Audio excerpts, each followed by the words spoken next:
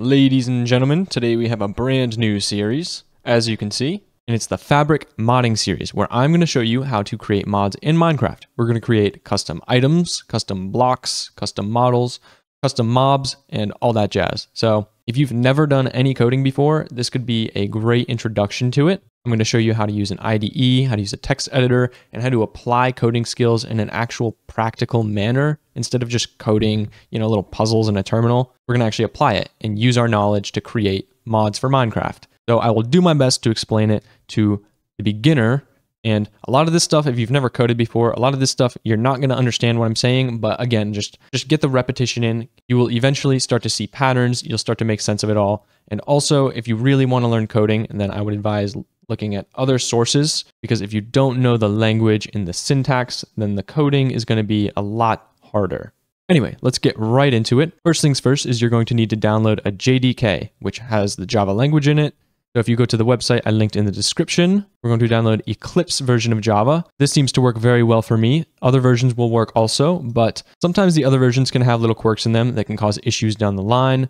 This one works well for me, so I'm using it in this case. Now, make sure you come down to version and select 21-LTS, package type JDK, very important, and then select your operating system. In this case, I'm doing Windows.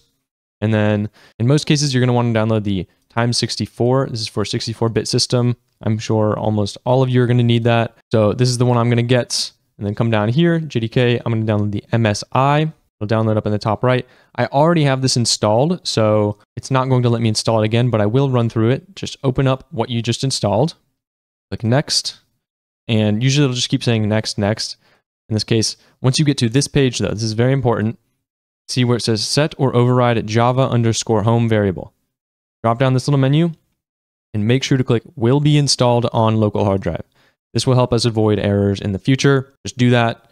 It will save you so much time, so much hassle. Check this little box, hit next, keep going through the pop-ups until you hit install, and then you hit finish. Now, after we've downloaded the JDK, we can hop over to IntelliJ IDEA. This is an IDE, which is an integrated development environment, which is basically just a fancy text editor that's going to allow us to write and create Java programs. And in this case, creating Minecraft mods is just creating a Java program. So when you come to this website that I linked in the description, JetBrains, you're going to see Ultimate. Before you do anything, do not download that. First, you can select your operating system up top. I'm going to do Windows, and then scroll down in the link I provided. You will see Community Edition at the bottom. This is the free version. This is the one we're going to be using for every single video in this tutorial series. This is the one we are going to download. Again, Ultimate is going to ask you for money. We do not want to pay money and it is overkill. We do not need that for what we're about to do. Community Edition will suffice as more than enough. So come down to the download button and hit download. And this is going to download the installer just like before. I already have it installed, but you're just going to run through the steps. Also, if you are a student, you can use your student email address, I'm pretty sure, and get IntelliJ Ultimate for free. Don't take my word on it, but again, that's not necessary. We're going to be using the community version entirely free. And once you get that downloaded, you just run it, and now we have IntelliJ downloaded. Now, after that, we need to do one more thing, and it is downloading a template. This site right here is going to make your life so much easier it is a godsend. The Fabric template mod generator saves us so much time. It downloads all these configurations for us and basically gives us a nice template to start building our mod from so that we don't have to do a bunch of the setup ourselves. It's very important. Just follow what I do here, especially if you've never done modding before. I advise just copy what I do here. So for the name, we are just going to do example mod. And now come over here, you'll see this use custom ID button. Click use custom ID. And I'm just going to make it all lowercase, all one word, example mod. So this is going to be our mod ID. Make sure you keep that one word, all lowercase. That's sort of the convention. Stick with it. Now for our package name, this is going to be the package that the mod is sort of contained within. I'm going to make it net.grapenugs, which is my name, dot example mod or the mod ID. So in this case, you know, if you were using your name, you could do com dot or net dot your name dot mod ID. That's all I've done here. Should be pretty easy to follow so far. And then the version of Minecraft we're going to be using is 1.21. Now tune in for this part because this is very important. I cannot emphasize enough how important this part is because if you mess this part up, you're going to run into issues down the line and it's going to be a pain. So where it says split client and common sources, uncheck this box right here. Make sure this is not checked and then come up to data generation and check this box. Again, this is so incredibly important. Make sure you do this step or you're going to have issues. And then once we have all that done, we can hit download template zip. So now that we have it downloaded, what I want to do is open the folder, and this is the folder that I want it in. And we're going to see the template mod. It's zipped up right here. I'm going to right click and drag just into the same folder and hit extract. Now what I want to do is change the name right here, just the very last part. See example mod dash template. I'm going to change it to fabric dash example dash one dot twenty one dot x.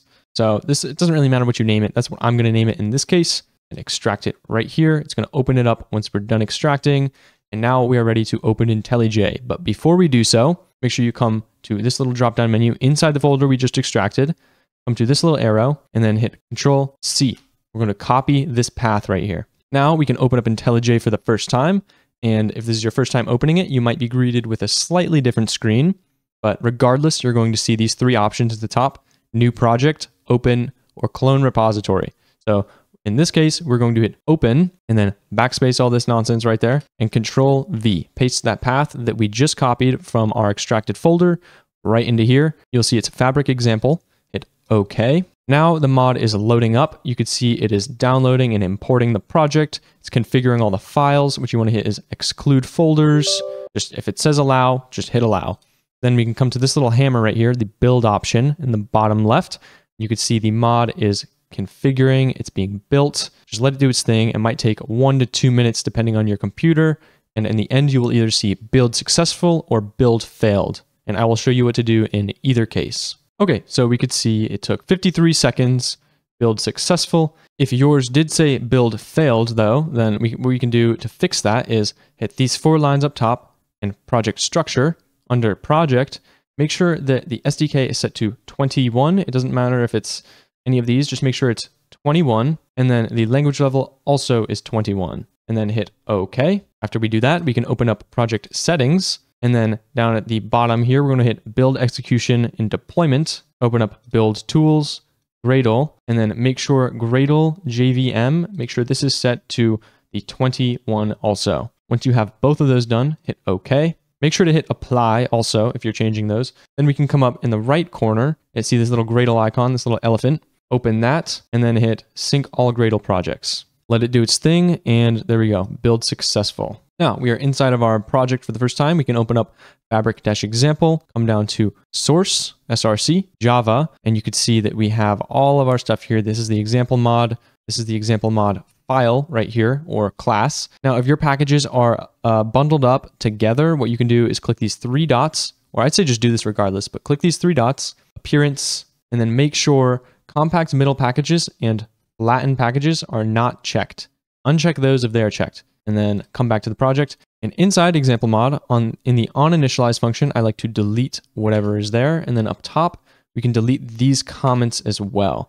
Now, yours might not have this, but what you're going to want to do is, if it doesn't say this, we're going to say public static final string, and then you can hit tab to autocomplete, and then do mod underscore ID equals, and then we're going to make it our mod ID, example mod, semicolon. Now this is going to set our mod ID to example mod, okay?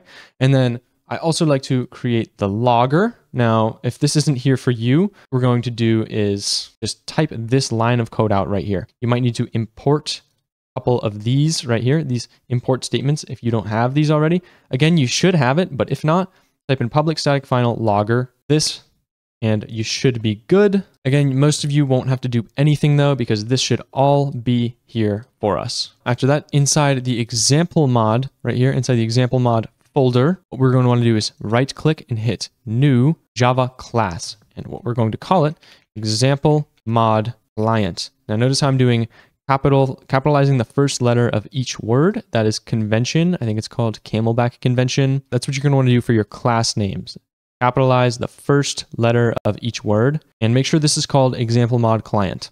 This implements client mod initializer, and you could see client mod initializer to autocomplete, we can just come down here and just hit tab and it'll import the necessary file that we need at the top. Now you will have a red line underlining this probably, hover over it, hit implement methods, okay.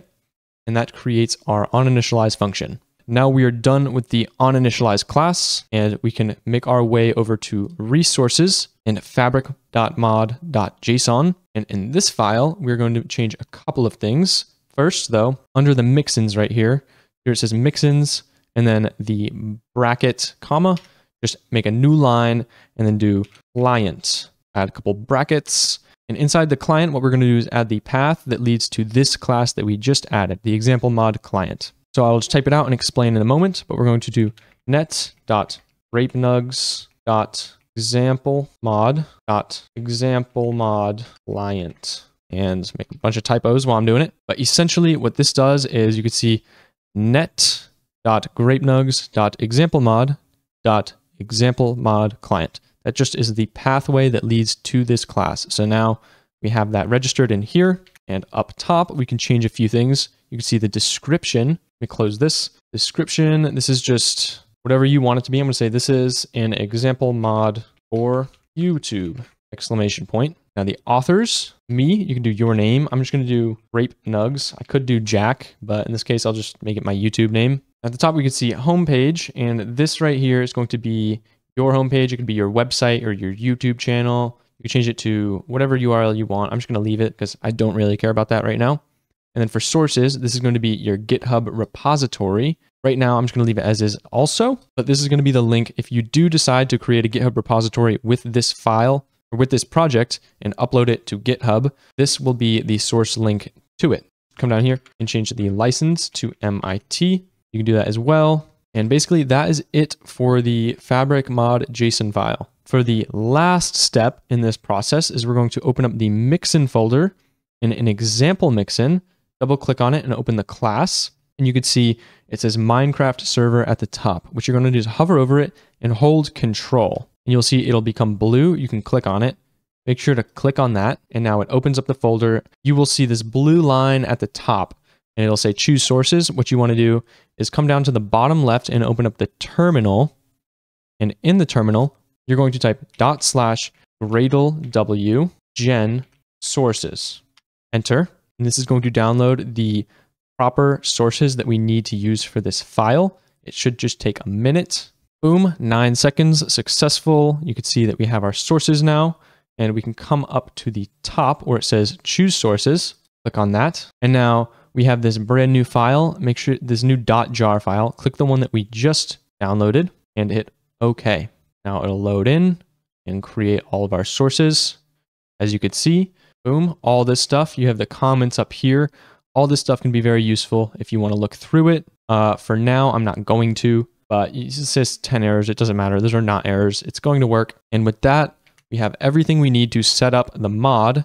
Now we can come over to Minecraft client and we can run Minecraft for the first time. So run Minecraft.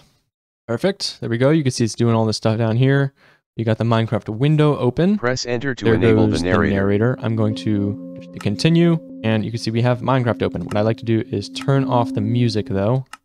Not a fan of the Minecraft music, to be honest. And we can go in and create a world if we wanted to. And that's basically it for setting up the Minecraft mod.